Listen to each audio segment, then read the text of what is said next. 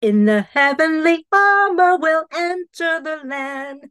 The battle belongs to the Lord. Amen. We need to remember that the battle is not ours, it belongs to the Lord. The image behind me is of an angel in battle for us, for God. Awesome, awesome, awesome.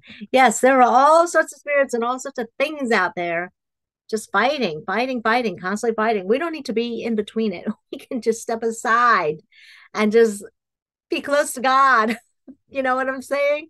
Yeah, we don't need to fight. I used to be a warrior. I used to fight all the time. I'm like, okay, I'm retired from that. I've got a better place now.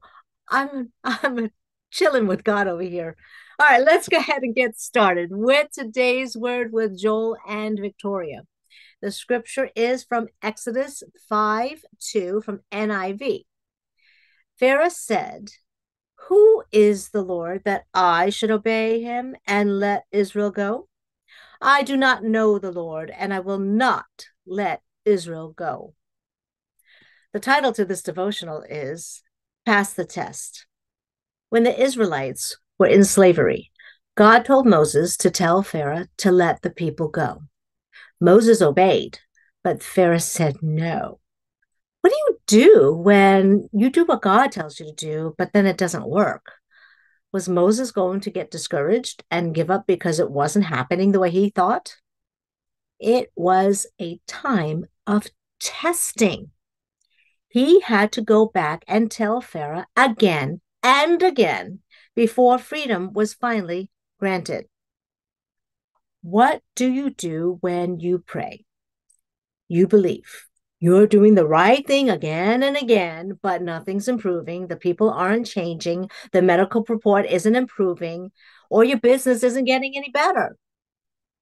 This is when you have to dig deep and say, God, I'm not moved by what's changing. Oh, I'm not moved by what's not changing. I'm not going to wilt, start complaining, and give up my dreams. I'm going to keep doing the right thing when you pass the test like that. Instead of those difficult stopping, the difficulties stopping you, they will lift you. Instead of defeating you, they will promote you. Praise God. Thank you, Jesus. Thank you, thank you, thank you.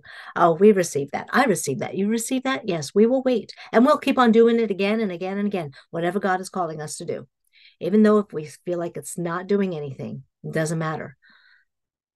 It's about us, the test of us obeying God. He'll handle the results, not us. Right, let's pray. Father, thank you so much that our faith and trust are anchored to you to your mighty power, to the work that you are doing in our lives, Lord. Thank you that we don't have to be moved by the tests and the troubles that's going around that you know that we face every single day lord that you are fighting our battles. You are the god of results. The results are not up to us and we thank you. We thank you so much for that that we're not responsible for it and Lord, we just want to continue to stay anchored in you, focused 24 7 with all of our five senses. We love you and we want to obey you always, always, always. In Jesus' precious, holy, purifying, obeying name, we pray. Amen. Amen and amen. All right, my dear friends, until and, and family members until tomorrow. Saranata